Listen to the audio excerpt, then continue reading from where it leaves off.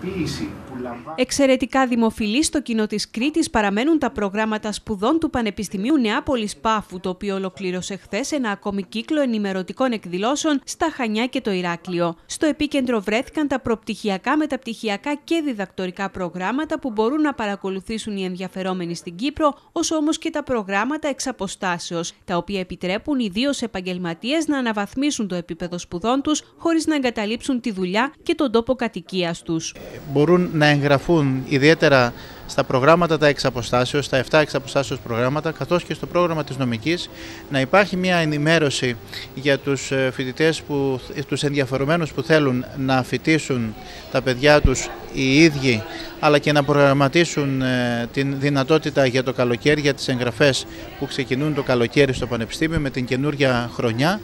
και καθώς επίσης και για τα διδακτορικά προγράμματα που το Πανεπιστήμιο προσφέρει. Έντονο όπως αποδείχτηκε παραμένει το ενδιαφέρον από μαθητές των τελευταίων τάξεων του Λυκείου και τους γονείς τους που έχουν συγκεκριμένη στόχευση και προετοιμάζονται ήδη για τη συνέχιση των ακαδημαϊκών σπουδών τους στην Κύπρο σε τομείς όπως η διοίκηση επιχειρήσεων, τα χρηματοοικονομικά, τη νομική και την πληροφορική